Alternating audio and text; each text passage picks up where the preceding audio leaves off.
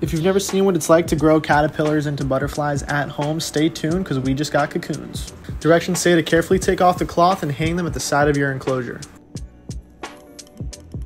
This was our second cup. It was much more successful, and it's very normal for some to not make it. Also, yeah, this was news to me. I didn't know that they can move in their cocoon, which doesn't make any sense. Of course, they can move in their cocoon, but look at this dude wiggling here. He was not happy that he was not hanging.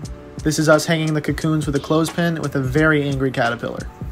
How do you move cocoons in a cage? Very carefully.